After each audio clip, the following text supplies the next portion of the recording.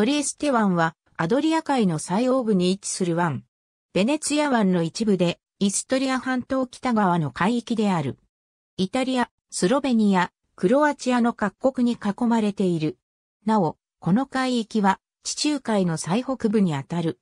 関係の深い各言語では以下のように呼ばれる。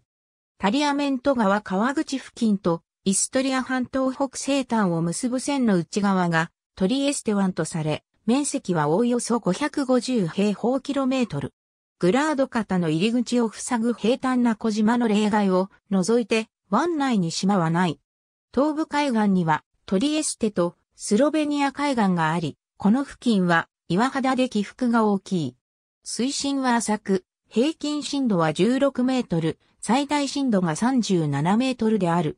この海は現在では海水の流れが半時計回りである。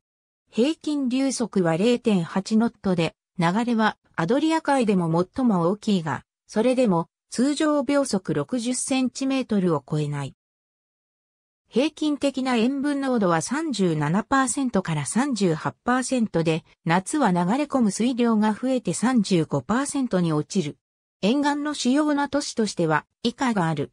スロベニア共和国の海岸はすべてこの湾に面しており、その総延長は 46.6km である。沿岸都市は東から順にコペル、イゾラ、ピランである。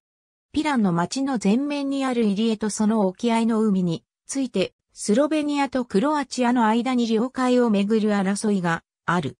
ありがとうございます。